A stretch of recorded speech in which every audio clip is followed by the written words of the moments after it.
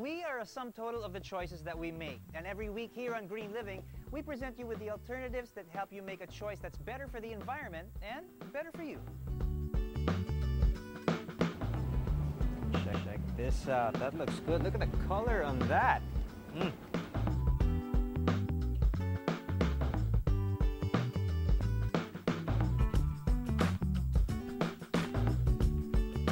Covered just about every earth-friendly and health and wellness story out there. And all our efforts will be for naught if we haven't encouraged you, our audience, to take action. Living green is a choice, and it's a decision that we can make right here, right now, in our very own homes.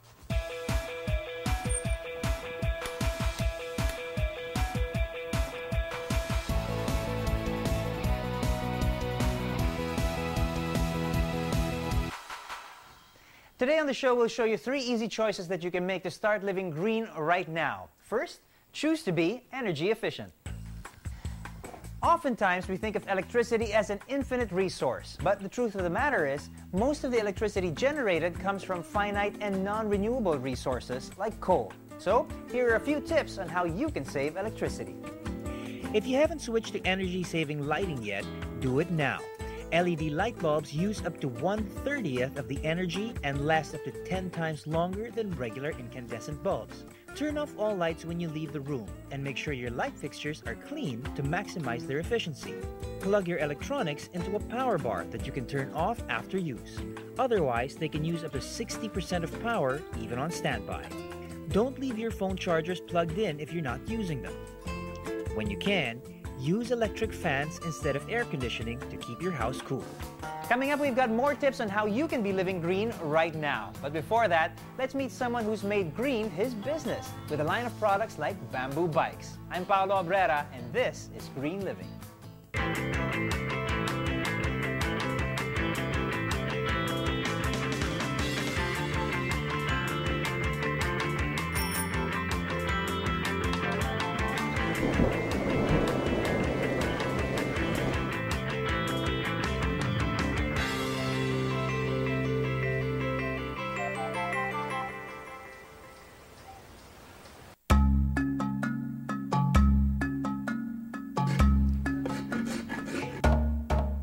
I am Boy Shoho. I am part of Bamboo Technologies and we make bamboo products. Ang product range namin right now is just bicycles but eventually we will go into anything bamboo. Isa lang mundo natin eh. It's time we care. It's time we care and do something about it.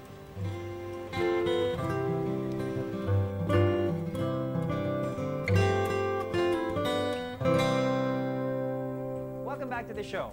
Now, earlier we talked about the choices that you can be making to start living green right now. The first was to save electricity. Number two would be to choose to conserve water.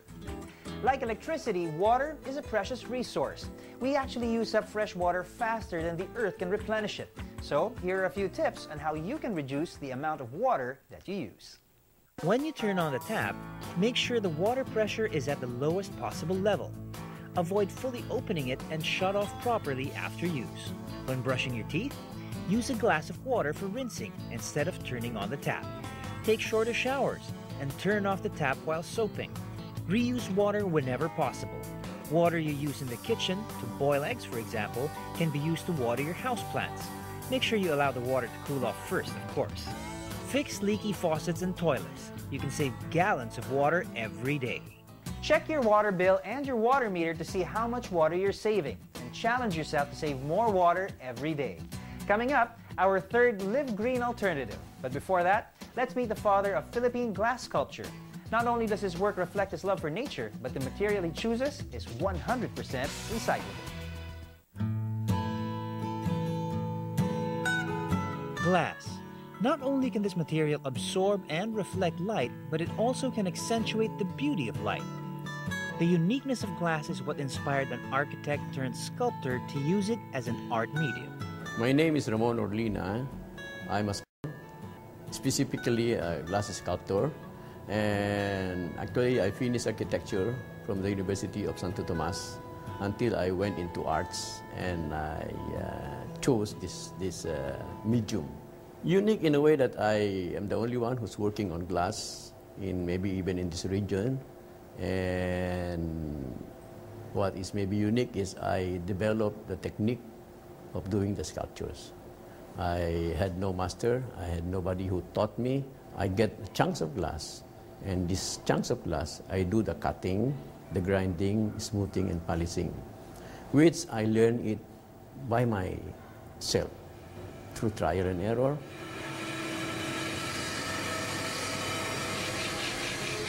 Why glass? If I think of me as an artist, light is very important with the sculpture.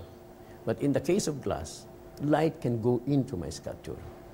I can see the other side of the sculpture. So I can see the back.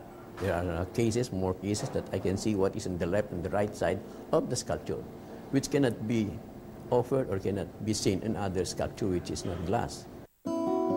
Orlina's sculptures are not just admired for their form and beauty. Glass is a recyclable material. That's why Orlina's artworks are also good for the environment. It's eco-friendly because uh, one thing is a recycle. I'm doing a recycled glass. Actually, it's a throwaway glass, you know.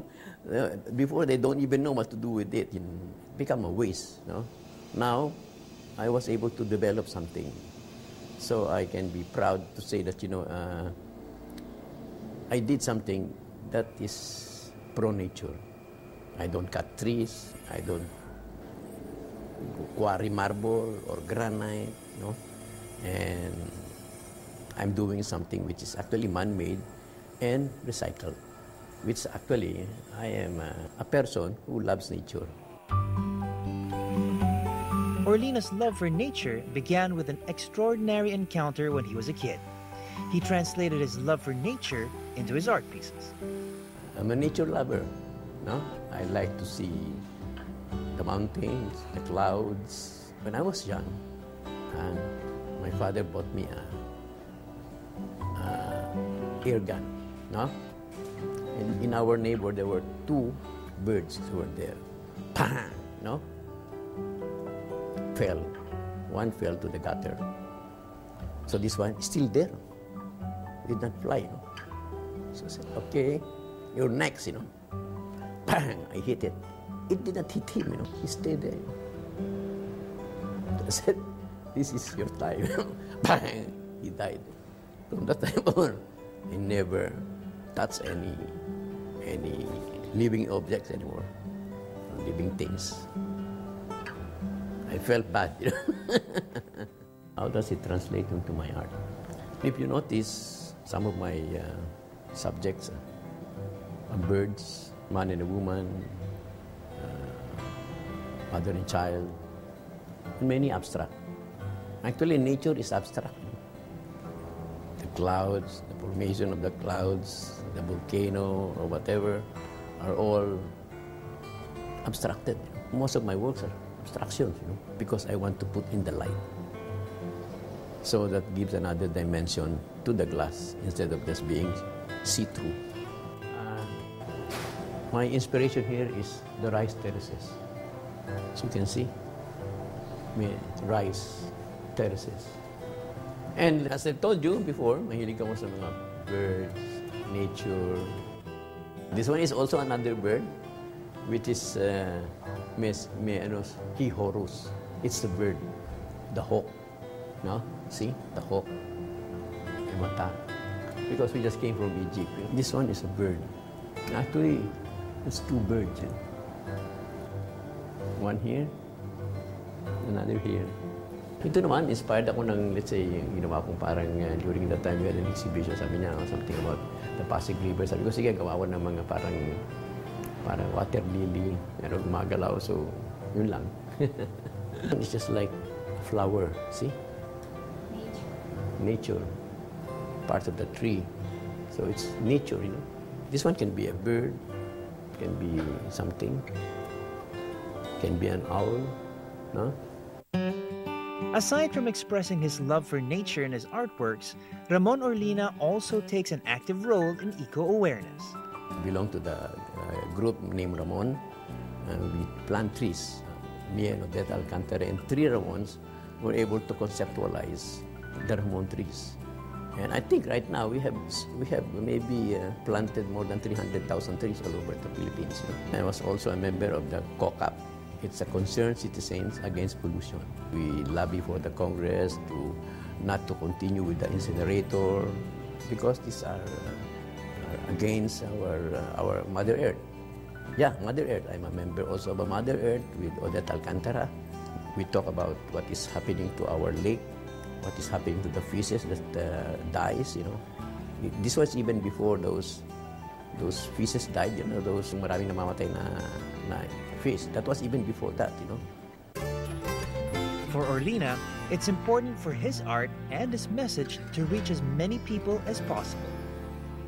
I like it or I love it when people appreciate what I do. Appreciate that, you know, I did something which is different, something that, uh, that attracts them, something that maybe they touch it, you know. I like people to touch my work, you know, because it's another way of conveying, or let's say, just like, you know, touching is another sense. Maybe what I want is to people to see what I do.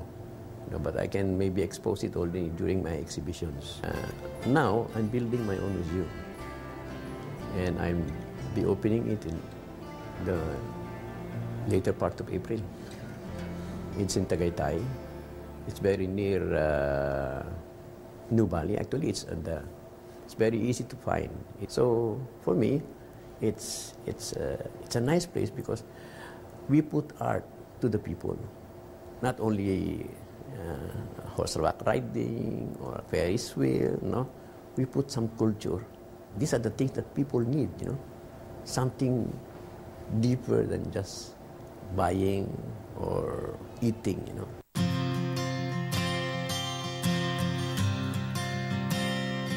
Light brings out the beauty of his works, but it's his unique skill and philosophy which makes him truly shine. I had originality. I was able to go on my own.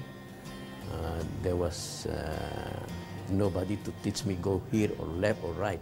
So I was able to make my own goal and being an architect helped a lot in, uh, in the development of my art because architecture is science and art.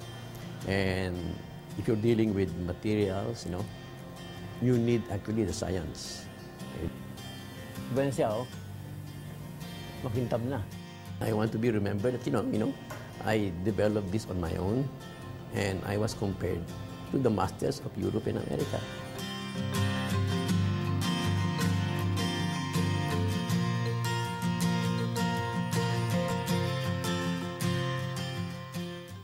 To live green right now, we've asked you to choose to one, save electricity, and two, to conserve water. Now, the third thing we'd like to challenge you to do is to eat more fruits and vegetables. Nutritionists recommend that half the food on your plate be made up of fruits and vegetables. Fruits and vegetables are rich in vitamins and minerals, and they're good for your health. Plus, they're low in calories and they reduce the risk of certain diseases like cancer. A quick and easy way to add some fruits and vegetables into your diet is to make a smoothie. You'll need one banana, one mango, a handful of greens like spinach, and one third cup of plain yogurt. A banana. Adding a bit of mango about a third of a cup of yogurt, the all important greens.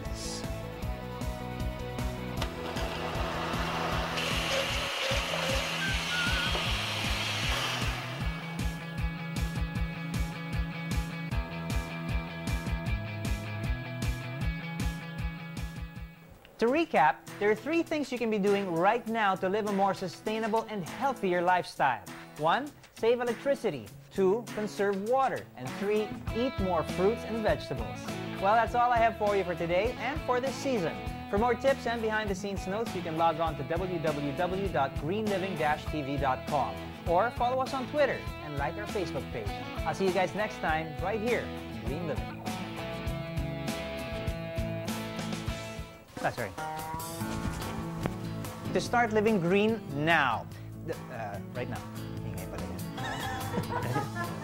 but the truth of the matter is, electricity is not an endless resource. but green right now. That uh, healthier lifestyle. right now.